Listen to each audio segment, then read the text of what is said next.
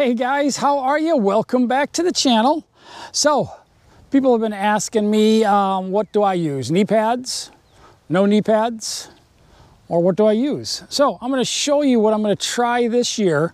Um, I got knee pads last year for Christmas for my beautiful wife. Um, but let me show you these knee pads that she got me. These right here. Um, I forget these are Altas. They were on um, Amazon and they were 35, I think it was, 35.96. They're really nice, adjustable here with the retaining strap here. Um, adjust them for the fit. Then they go right over the little button.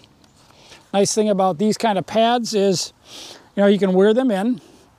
Um, you could also after you shoot a deer and you're going to field dress, you know, kind of protecting your pants from the ground also. Um, so I'm going to get up here on the tree, up on the platform. We've got it out here at the beautiful park. Um, and show you how this works and then show you the pad. Uh, like I said, these I think were $35.98 through Amazon. They can go higher than that and lower than that. So let's get up here and see what we got. So we're going to hook in. We've got our flex on, our comfortable flex. Oh, this thing is really nice. So here we are. You can see the knee pads. You don't have to worry about anything with those. And I've got my little steps on the side of the tree. This is how I plan on hunting this year. So I've got my predator platform here. Then on at, if you want to say the platform's at six, at three and nine, I have a double step, squirrel step on both sides. So when you come around the tree, you're like this, you've got your side pressure, you can put your foot here, you're able to shoot really easily, get around the tree, come back to center, come on this side right here, which is kind of nice. Just bring your foot around, can shoot off the back. Really nice. So using the knee pads, so knee pads are on, and then basically you got your bridge the way you want it, what's most comfortable for you. And then basically just coming into the tree. Very comfortable. Some guys will sit sideways. Now you don't have any pad because you've basically got your clothes right here. Coming back up. Knee pads right into the tree. Pretty nice. If you've got a skinny tree, a real small one, you may be get one knee on there which is no problem. You can just relax. So knee pads are a real great option. You definitely need something. Last year I tried it, so I didn't get the knee pads till after the season was done. Um, and um, sitting there with your pants on, you may be even bundled up, but you lean into that tree with just your knees, it's not too comfortable if you do that. So that's that option. So let's check the other option out. We're gonna unhook and come down. All right, guys, so my second option is gonna be this pad that I made. Um, I got this nice thick pad, an AWP from Lowe's. This is a very dense, thick pad. How did I make this? Basically cut it down to the size I wanted.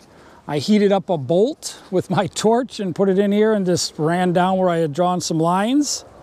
And then um, I picked up, I think this pad was $9.98 or $10.98 at Lowe's. Um, and then I went to our local um, hobby store and picked up one inch webbing. I've left it long right now. Um, so I'll play with the length that I want for sure for hunting, but I bought like a nine foot, nine foot piece. So I just bought these two clasps, your basic class or uh, plastic clasps. And these are the ones that are basically self-adjusting on both sides. You could have bought, I could have bought one that had the regular plastic right here and then sewn one of these sides, but no need to do that at this point in time. So basically you're gonna put this right on the tree where you want it. You're gonna know approximately where your knees go. Bringing this around and then just basically clasping it together. Then you can tighten it. And tuck this stuff in if you want. Now let's get up there and see how it works. I'm gonna hook back into my bridge. So we're sitting here nice and comfortable. Still got our same pegs over here where we can swing around the tree. When we're ready to relax on with this pad, you're basically just coming in. Your knees are on both sides. It's kind of nice too when it goes, if it was a smaller tree, your knees kind of grab onto this padding material, which is really nice. The other nice thing is, if you decide to sit sideways, right on your hip, keeps you cushioned against the tree on the side too, which is really nice. You can see how this goes, just basically a pad, your knees come in, you can adjust this up or down a little bit, depending what you feel is most comfortable for you. Really nice sideways. Leg is hitting right there on the hip, which is really nice. All right, so I'm gonna show you another little nice thing about it. Say you find that tree or you find that area that maybe sitting up against a tree is the best thing. You take this thing off. It's a great cushion for your, for your platform. Really nice. It is very comfortable. Really a dense foam. Two purposes with this thing right here. So really nice. And cost me like 17 bucks to build. So half the price of the knee pads. So guys, I hope that helps and answers some questions about what I'm going to be using. Check out a bunch of other channels out there, different options others are using, but I really like this dense foam. It's really thick and uh, when you put your knees in there, you just go in there nice and slow and it doesn't really stay down. It really keeps you uh, supported really nice.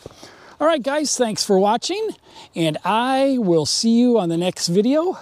And you know what? Stick around though, because we're gonna do the drawing for the Predator platform, guys. All right, let's go get the list. We'll come back and we'll do the random draw.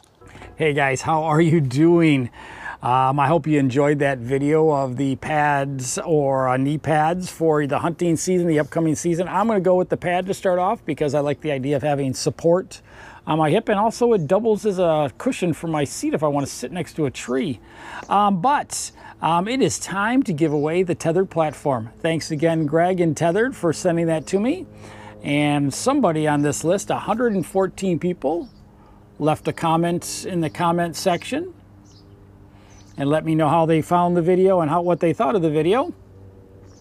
So I double checked this when I got home from work. I went through every name and made sure I didn't miss anybody. So we've got 1 through 114. So I've got that on my random in, uh, random uh, app here.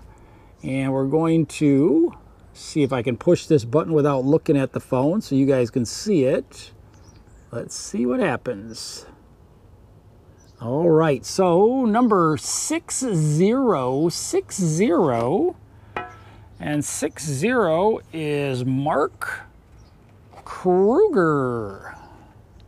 Right there, 60, Mark Kruger.